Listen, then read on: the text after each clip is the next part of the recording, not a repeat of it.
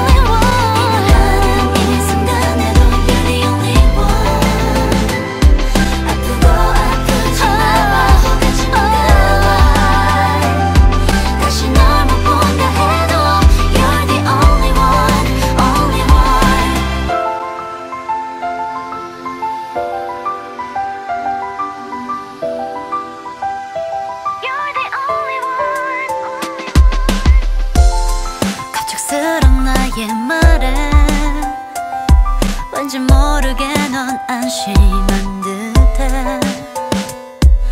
어디서부터 우린 이렇게 잘못된 걸까? 오래전부터 다른 것만